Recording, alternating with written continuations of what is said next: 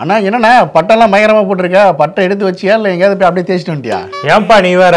நான் ஆட்டோ நல்லா ஓடணும்னு சொல்லிட்டு மாரியம்மன் கோயில்ல போய் சாமி கும்பிட்டு அப்படியே பட்டையா போட்டு வந்தேன். சரி சரி ஓகே ஓகே. என்ன ஒரே ஆட்டோவில் ஒரே கொடியா கட்டி வச்சிருக்க? ஆமாப்பா நாளைக்கு சுதந்திர தினம்ல அதை எல்லாருக்கும் தெரியப்படுத்தணும்னு சொல்லி தான் இப்படி கட்டி வச்சிருக்கேன். எல்லாருக்கும் தன்னோட வாழ்த்துக்களை சொல்லிடு. சரி ஓகே. அப்போ எல்லாம் நல்லா இருப்பாங்க. ஆட்டோவில் நல்லா வியாபாரம் போகும்னு நம்புறீங்க. என்னத்த நம்புறது? இதுவரை நம்பிட்டு தான் இருந்தேன். நீ ஏறி உட்காந்துட்டிய இனி எப்படி போகும்? இப்படி சொல்லிட்டேன் சரி அதை விட ஆளுநர் மாளிகையில் தேநீர் விருந்து சுதந்திரத்துக்காக வச்சிருக்காங்களே நீங்கள் எப்படி உங்கள் கட்சியெல்லாம் போறீங்களா? நாங்களும் புறக்கணிக்கிறோம் எங்க கூட்டணி கட்சிகளும் புறக்கணிக்கிறாங்க. ஏன்? ஏன்பா டீ வாங்கி கொடுக்க என் ஆளுநர் மாளிகைக்கு தான் வரணுமா? பக்கத்துல டீ கடையில குடிச்சிட போறோம். கெடா கெடா வெட்டி விருந்து வச்சீங்கன்னா சொல்லுங்க வாரம். அதை விட்டு போட்டு அரசியல் மாண்பு எல்லா ஒரு விழாவுக்கும் தேநீர் விருந்து வைக்கிறது கவர்னர் மாளிகையில் வைக்கிறது வழக்கம். அதிமுகலாம் போறாங்க பாஜக போறாங்க உங்களுக்கு போறதுக்கு என்ன? எப்பா நாங்க தான் ஏற்கனவே இதுக்கு பதில் சொல்லிட்டோம். எங்க தலைவரும் முடிவு எடுத்துட்டாரு. அதெல்லாம் யாரும் மாத்த முடியாது. நீ இதை நிப்பாட்டு வேற செய்திக்கு போ. நம்ம ஆட்டோக்கார தம்பி எங்க இருக்கான்னு கொஞ்சம் பாருங்கம்மா. Veel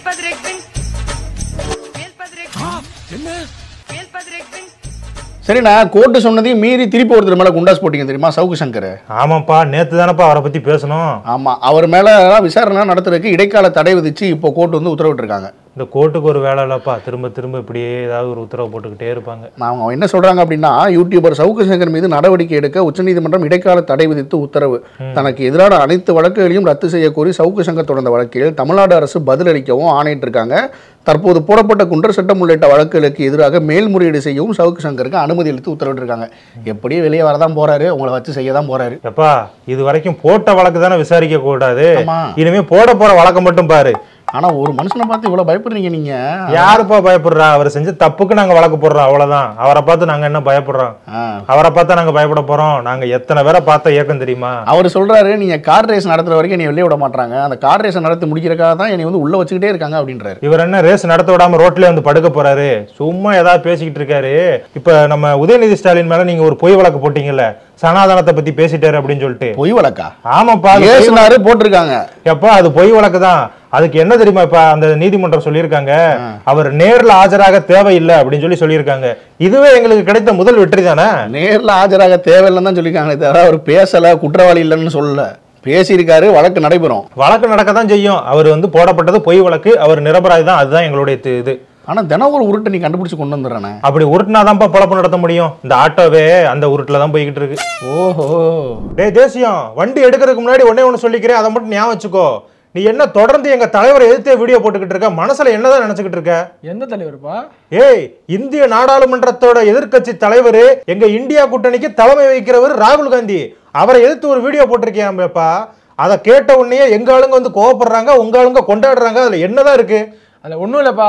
இந்த ஹிண்டன்பர்க் எப்படி இந்திய பொருளாதாரத்தை வீழ்த்தணும்னு சரி செஞ்சாரு அதுக்கு எப்படி ராகுல் காந்தி உடந்தையா இருந்தாரு அப்படிங்கிறத ஆதாரத்தோட எடுத்து போட்டேன். உனக்கு என்ன பிரச்சனை அதுல? ஆதாரம் ஆதாரம்னு பேசிக்கிட்டு இருந்தா மூஞ்சி முகரையெல்லாம் சேதாரமாகி போயிடும் உனக்கும் ஒரு குண்டாசு பார்சல்ல வந்துகிட்டே இருக்கு பார்த்து இருந்துக்கோ அதான் நான் சொல்றது. எப்பா சாதாரணமா உங்க முதல்வர் சின்னவர் இவங்கள பத்தி பேசினா தான் குண்டாஸ் போடுவீங்க. இப்போ என்ன தேசிய அளவுல பாஞ்சிட்டீங்க? ஆமாப்பா இவர் எங்க கூட்டணிக்கு தலைமை வகிக்கிறார்ல அவரை ஏதாவது சொல்லுவேன் நாங்க பார்த்துட்டு சும்மா இருக்க முடியுமா? சரி மக்கள்கிட்ட விட்டுறான். மக்களே நம்மளுடைய சேனல்ல ராகுல் Gandhi Hindenburg and George Soros கனெக்ஷனை பத்தி விரிவான ஒரு வீடியோ நாங்க போட்டிருக்கோம். அதோட லிங்க் உங்க டிஸ்கிரிப்ஷனில் தரேன் கண்டிப்பாக தேடி பாருங்க. உங்களுடைய கருத்துக்களை அதில் போய் நீங்க கமெண்ட்ல போடுங்க. டேய் என் ஆட்டோல ஏறி ஓ வீடியோக்கு ப்ரொமோஷன் பண்ணிக்கிட்டு இருக்கியா? இப்படியே பேசிக்கிட்டு இருந்தேன்னு வச்சுக்கோ. ஆட்டோல நீ ஏற மாட்ட. ஆட்டோ தான் ஓ மேல ஏறும். பார்த்து இருந்துக்கோ ஏப்பா அதை விடுப்பா. உனக்கு ஒன்று சொல்றேன். உங்க கட்சியில இருந்தாரே ஒருத்தர் ஜாபர் சாதிக்கு. ஞாபகம் இருக்கா? என்னப்பா கட்சியில இருந்தாருன்னு? கட்சியில இருந்து விலகிட்டோம்ல. அப்புறம் எப்படி அவர் எங்க கட்சியா இருக்கும்? விளக்கிட்டீங்களா அவர் மாட்டினாரா நீங்க விளக்குனீங்களா? மாட்டினாரு விலகிட்டோம் அப்ப தப்பு பண்ணா விளக்கிடுவீங்க. சரி அதை விடுங்க. இப்போ அவருடைய தம்பி சலீம் இருக்கார்ல அவரை ஈடி அரெஸ்ட் பண்ணியிருக்கு. அவர் எதுக்கு அரெஸ்ட் பண்ணாங்க? அவர் என்ன சொல்றாரு? சட்டவிரோதமான பண பரிமாற்றம் அண்ட் போதைப் பொருள் கடத்தல் இது மாதிரி நிறைய குற்ற சம்பவங்களில் ஈடுபட்டு வந்தாராம். அது மட்டும் இல்லாம எட்டு கோடி மதிப்பிலான இல்லீகல் மணி அவர்கிட்ட இல்லிசிட் மணி இருந்திருக்கு. இதெல்லாம் ஈடி கண்டுபிடிச்சு இப்ப அவர் கைது செஞ்சிருக்காங்க. இத்தனைக்கும் அவர் உங்களுடைய கூட்டணி கட்சியை சேர்ந்த விசிகால பொறுப்பாளரா இருக்காரு. விசிகால பொறுப்பாளர் இருந்தா அவர்கிட்ட போய் கேளியா எங்க கட்சியில இருந்தவங்கள நாங்க விளக்கிட்டோம். அவங்க விளக்குனாங்களா இல்லையான்னு எனக்கு தெரியாது. எப்படிப்பா ஒரு கூட்டணியா சேர்ந்து ஒரு கூட்டாவே செயல்படுறீங்க? அண்ணன் திமுக இருக்காரு தம்பி விசிகால இருக்காரு. எப்படிப்பா இதெல்லாம்? அவங்க ரெண்டு பேரும் சொந்தக்காரங்க நீங்க ரெண்டு பேரும் கூட்டணி அங்காளி பங்காளி. நல்லா இருக்கல காம்பினேஷன் அதெல்லாம் பழி வாங்குறாங்க தான் சொல்லுவோம். நேத்து நீ கோர்ட்டுக்கு போனியே அந்த விஷயம் என்னாச்சு? கோர்ட்ல என்ன சொல்லியிருக்காங்க? பாஜக சார்பாக தேசிய கொடி பேரணி நடத்துறதுக்கு நீங்க அனுமதி கொடுக்கல இல்லையா? கோர்ட் அனுமதி கொடுத்துருச்சு.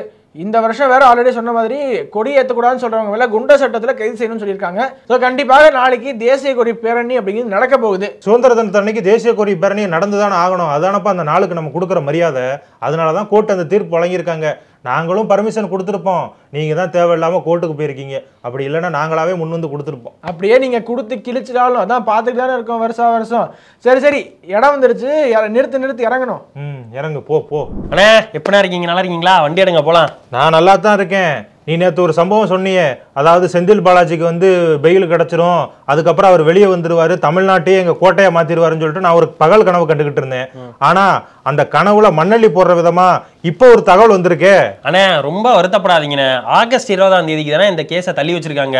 ஒன்றும் கொல்லப்படாதீங்க செந்தில் பாலாஜி அவர்கள் வெளியே வந்ததுக்கப்புறம் அமைச்சராயிருவாருண்ணே ஆகஸ்ட் இருபதாம் தேதி நிச்சயமா வெளியே வந்துருவாரு. சரி இந்த கேஸ் ஏன் தெரியுமா தள்ளி வச்சிருக்காங்கன்னு தெரியுமா உங்களுக்கு? தெரியாது தம்பி சொல்ல அண்ணே அமலாக்கத்துறை வந்து சுப்ரீம் கோர்ட் கிட்ட கேட்டிருக்காங்க இந்த கேஸை கொஞ்சம் தள்ளி வைங்கன்னு. அது எதனாலன்னா அமலாக்கத்துறைக்காக வாதாடுற சொலிசிட்டர் ஜெனரல் துஷார் மேத்தா இன்னைக்கு வரலண்ணே.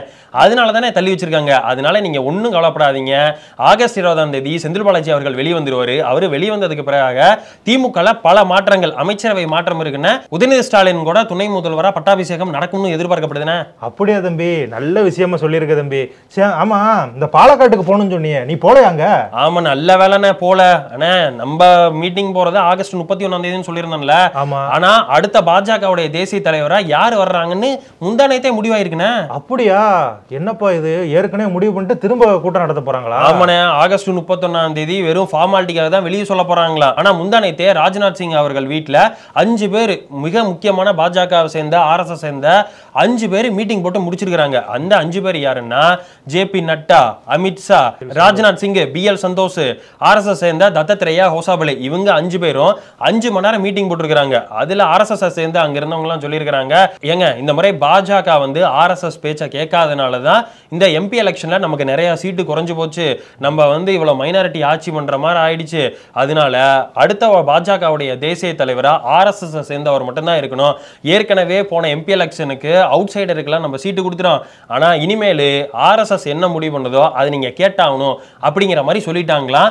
அதே மாதிரி அந்த அஞ்சு பேர் எடுத்த முடிவில் ஒரு ஆளை வந்து செலக்ட் பண்ணிட்டாங்களாண்ணே அப்படியா தம்பி? ஆமா வெறும் ஃபார்மாலிட்டிக்கு மட்டும்தான் ஆகஸ்ட் முப்பத்தி ஒன்னாம் தேதி சொல்ல போறாங்களா பிஜேபிக்கு பிடிச்ச ஆளாவும் ஆர்எஸ்எஸ்க்கு பிடிச்ச ஆளாவும் ஒரு ஆள் இருக்கிறாராம். சரியாண்ணே? அந்த ஆர்எஸ்எஸ்க்கும் பாஜகவுக்கும் பிடிச்ச அடுத்த பாஜகவுடைய தேசிய தலைவரா யார் வருவாங்கன்னு உங்களுக்கு ஐடியா இருக்கானே எனக்கு என்னப்பா ஐடியா இருக்கு? எனக்கு ஒன்றும் தெரியலையே. சரி மக்களே உங்களுக்கு தெரிஞ்சதுன்னா அந்த நபர் யாரா இருப்பாங்கன்னு கமெண்ட்ஸ்ல பதிவு பண்ணுங்க. அண்ணா இன்னைக்கு செந்தில் பாலாஜி அவர்களோட கேஸ் தள்ளி வச்சாதானே உங்களுக்கு தெரியும். நேத்து நம்ம வினேஷ் போகாத் இருக்காங்கல்ல வெள்ளி பதக்கமாவது கொடுங்கன்னு கேட்டிருந்தாங்கல்ல அவங்க கேஸையும் ஒத்தி வச்சிருக்காங்கண்ணே நேத்து. அதை கவனிச்சிங்களா? இல்ல தம்பி என்ன விஷயம் அதுல நடக்குது? அண்ணா ஆரம்பத்துல வினேஷ் போகாத் எனக்கு ஒரு வெள்ளியாவது கொடுங்கன்னு சொன்னாங்க. பலமுறை அந்த கேஸ் ஒத்திவைக்கப்பட்டது. ஆனா இறுதியா ஆகஸ்ட் பதினாறாம் தேதி அதாவது நாளானிக்கு பாரிஸ் டைம்ல ஆறு மணி அதாவது நமக்கு ஒன்பதரை நைட்டு ஒன்பதரை மணிக்கு அவங்களுக்கு வெள்ளி பதக்கம் கொடுக்கலாமா வேணாங்கிற மாதிரி டிசிஷன் எடுக்க போறாங்களாம் ஆனா இது வந்து வினேஷ் போகாத்துக்கு தான் சாதகமா இருக்கும்னு சொல்றாங்கண்ணே. ஆமாப்பா என்ன கேட்டா அவங்களுக்கு தங்க பதக்கமே கொடுக்கலாம்னு சொல்லுவாங்க. அட்லீஸ்ட் வெள்ளி பதக்கமா கொடுக்கட்டுமே. ஆமாண்ணா இது ஒரு நூறு கிராமுக்காக வெள்ளி பதக்கம் மறுக்கப்படுது அப்படிங்கிறது ரொம்ப வருத்தம் தானே ஏன்னா வினேஷ் போகாத்து கிட்ட ஃபர்ஸ்ட் ரவுண்ட்ல தோத்தாங்க இல்லையா ஒருத்தங்க உயி சுசாக்கின்னு ஒரு பொண்ணு. அந்த பொண்ணே வந்து ரெப்பிச்சார்ஜ் ரவுண்ட் ஆடி பிரான்ஸ் மெடல் வரைக்கும் வாங்கிட்டாங்க. இவ்வளவு தூரம் மிகப்பெரிய சாதனை பண்ண வினேஷ் போகாத்துக்கு வெறுங்கையோட திரும்பி வந்தா நல்லா இருக்குமாண்ணே? வெறுங்கையோட திரும்பி வந்துட்டாங்க. பட் இருந்தாலும் அவங்களுக்கு ஒரு இப்ப வெள்ளியாவது கொடுக்கணும் அப்படிங்கறதானே எல்லாருடைய எதிர்பார்ப்பாகவும் இருக்கு. ஆமா தம்பி நானே அதான் எதிர்பார்த்துக்கிட்டு இருக்கேன். ஓகே மக்களே உங்களுக்கு வினேஷ் போகாத் அவர்களுக்கு வெள்ளி பதக்கம் கொடுக்கலாமா வேணாமா அப்படிங்கிறத கமெண்ட்ஸ்ல பதிவு பண்ணுங்க. அண்ணே நட்டண்ணே நேத்து அவ்வளவு பேச்சு பேசுனியே இன்னைக்கு என்ன நடந்திருக்குன்னு தெரியுமா? நேத்து நான் என்ன பேசுனேன் இன்னைக்கு என்ன நடந்தது? இப்படி சொன்னா எப்படி புரியும்? தெளிவா சொல்லியா? அண்ணே நேத்து தருமபுரி மாவட்டத்துல மக்கள்லாம் போய் டாஸ்மாக் வேணும்னு சொல்லி மனு கொடுத்தாங்கன்னு சொன்னேன்ல. ஆமாப்பா சொன்னேன். பெண்களும் போனாங்களே. நேத்து பேசின அதே அம்மா இன்னைக்கு என்ன சொல்லியிருக்காங்கன்னா நான் வந்து டாஸ்மாக் வேணும்னு சொல்லிட்டு தான் என்னை கூட்டிட்டு போல. எனக்கு முந்நூறுரூவா காசு கொடுத்தாங்க. அவங்க பேசணும் தான் பேசினேன். எனக்கு டாஸ்மாக்லாம் வேணாம் திறக்காதீங்கன்னு சொல்லி சொல்லியிருக்காங்க. அப்படியா. அப்ப எப்படி நேத்து எப்படி பேசுனாங்க? மதுபான கடை வேணும். எங்க வேணும்? ஆதனூர்ல. நல்லாமட்டி ஆதனூர். இல்ல அங்க என்ன சொல்ல சொன்னாங்க உங்களை? மாதிரி கடை வேணும். பேரு சொல்லுன்னு சொன்னாங்க. எல்லாம் உங்க ஆட்கள் தான். காசு கொடுத்து எல்லாத்தையும் கூட்டிட்டு போய் இந்த மாதிரிலாம் பண்ண வைக்கிறாங்க. வெக்கமா இல்ல உங்களுக்கு? வெக்கமெல்லாம் பார்த்துல ஊர்ல நடமாட முடியுமா? உன்னை என் வண்டியில தான் வெக்கமா இருக்கு. ஏத்திட்டு வரலையா? எனக்கு ஒரு டைம் பாஸ் உன்னை ஏத்திட்டு போறேன். சரி வேற ஏதாவது இருந்தா சொல்லு. சரிண்ணே நாளைக்கு எழுபத்தெட்டாவது இண்டிபெண்டன்ஸ் டே அதை பத்தி உங்களுக்கு தெரியுமா? ஆமாப்பா நாளைக்கு சுதந்திர தினம். என் வண்டியை பார்த்தாலே தெரியலையா? சுத்தி தேசிய கொடியை பறக்க விட்டுருக்கேன்ல. எதுக்கு? சுதந்திர போராட்ட வீரர்களுக்கு மரியாதை செலுத்தணும் தான்ப்பா இந்த சுதந்திர போராட்ட வீரர்கள் அவங்க உயிரையும் தியாகம் பண்ணி நமக்கு சுதந்திரத்தை வாங்கி கொடுத்துருக்காங்க. இந்த நாள்ல அதாவது சுதந்திர நாள்ல அவங்களுடைய தியாகத்தை போற்றும் விதமா சுதந்திர தின வாழ்த்துக்களை எல்லோருக்கும் தெரிவிச்சுக்கிறேன்ப்பா சரிண்ணே உங்களுக்கு எந்த சுதந்திர போராட்ட வீரர் பிடிக்கும்? எனக்கு ஜெய்ஹிந்த் செண்பகராமன். ஜெய்ஹிந்த் சிம்பராமனா? யார் அவரு? நீ காந்தி கேள்விப்பட்டிருப்ப நேரு கேள்விப்பட்டிருப்ப. இந்த மாதிரி நிறைய வீரர்கள் நமக்கு தெரியாமலே இருக்காங்க. அப்படிப்பட்ட ஒருத்தர் தான் ஜெய்ஹிந்த் செண்பகராமன் இவர் தான் ஜெய்ஹிந்த் அப்படிங்கிற வார்த்தைய முதல் முதல்ல உச்சரிச்சவர். இவருக்கு அடுத்தபடியா தான் நேதாஜி சுபாஷ் சந்திர போஸ் அவர்களே ஜெய்ஹிந்த் அப்படிங்கிற வார்த்தையை உச்சரிச்சாரு. அது மட்டும் இல்லாம ஜெர்மனிக்கு போய் ஹிட்லர் கிட்டயே இந்தியாவுக்காக வாக்குவாதம் பண்ணவருப்பா. அப்படிப்பட்ட ஒரு மிகப்பெரிய தலைவர் தான் ஜெய்ஹிந்த் செண்பகராமன் நம்ம ஊர் ஆளானே? ஆமாப்பா திருவனந்தபுரம் இருக்குல்ல. அது பக்கத்துல இருக்கக்கூடிய ஒரு தமிழ் குடும்பத்துல பிறந்தவர் தான் அவரு. சரிப்பா உனக்கு பிடிச்ச சுதந்திர போராட்ட வீரர் யாரு? எனக்கு சேனாபதி தானே. சேனாபதியா? அவர் யாருப்பா? சுதந்திர போராட்ட வீரரா? நீங்க இந்தியன் டூ படம் பார்த்ததுல சிக் சிக் சிக். என்னப்பா இடுப்பெல்லாம் குத்துற? ஆட்டோ எங்கேயாவது கவுந்துற போகுது அவர்லாம் சுதந்திர போராட்ட வீரன் சொல்லிக்கிட்டு திரியற நீயே. ஏற்கனவே படம் பார்த்து தலை வழியில தெரிஞ்சுக்கிட்டு இருக்கேன். இருந்தாலும் அவர் எங்க கட்சியில சேர்ந்துட்டாரு அதனால உன்னை நான் சும்மா விடுறேன். அதே மாதிரி உங்களுக்கு பிடித்த சுதந்திர போராட்ட வீரர் யார் அப்படிங்கறத கமெண்ட்ல சொல்லுங்க. தம்பி நாளைக்கு சுதந்திர தினத்தை முன்னிட்டு நம்முடைய குடியரசுத் தலைவர் இருக்காங்களே திரௌபதி முர்மு. அவங்க ஆயிரத்தி முப்பத்தி ஏழு பேருக்கு வீர தீர செயல்கள் செஞ்சதுக்கான விருது கொடுக்கறாங்களாம். அதுல இருபத்தி மூணு பேரு நம்ம தமிழ்நாட்டை சேர்ந்தவங்க தான்ப்பா இது நமக்கு பெருமை தானே? வீர தீர செயல்களா? நே நான் வீரமான செயல்கள் நிறைய செஞ்சிருக்கேன். எனக்கு விருதுகள் தருவாங்களா? நீ என்னப்பா வீர தீர செயல் செஞ்ச? அதுவானே இந்த சைக்கிளை கையை விட்டு ஓட்டுறது பைக்ல வீலிங் பண்றது பஸ்ல ரன்னிங்ல ஏறுறது. ஏன ஏன அடிக்கிறீங்க? இதெல்லாம் வீர தீர செயலடா. விளங்காதவனே. வீர தீர செயலுக்கு ஒரு உதாரணம் ஒண்ணு சொல்றேன். உங்க ஊர் சொந்த ஊர் மதுரை தானே? அந்த மதுரை வைகையாத்துல யாராவது அடிச்சிட்டு போனாங்கன்னு வையி. அவங்கள நீ போய் காப்பாத்துன்னு வச்சுக்கோ. அதுதான் வீர தீர செயல். நீ இந்த சைக்கிள்ல கையை விட்டு போறது பைக்ல வீலிங் பண்றதெல்லாம் வீர செயல் கிடையாது. அதெல்லாம் சல்லித்தனம். இதை முத புரிஞ்சுக்கோ. அப்ப எனக்கு விருதுகள் தர மாட்டாங்களா நான் வேணா இன்னும் ரெண்டு தரேன். எழுந்து போ. நல்ல வேளை நாலு பேர் இறங்கிட்டாங்க.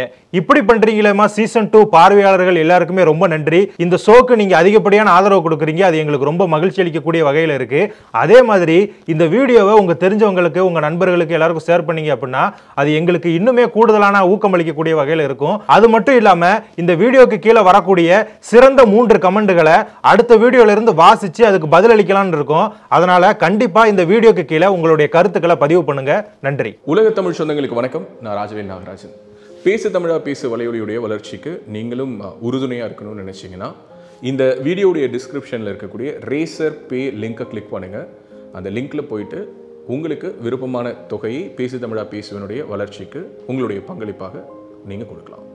நன்றி வணக்கம்.